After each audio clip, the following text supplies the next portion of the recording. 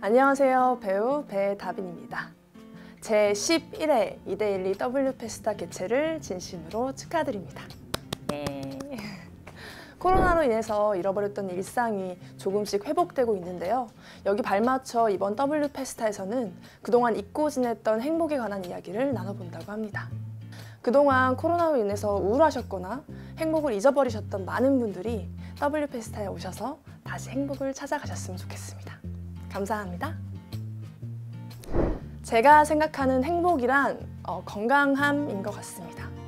어, 몸과 마음이 건강해야 주변에 가까운 행복을 볼 수 있는 눈과 마음의 여유가 생길 수 있을 것 같은데요.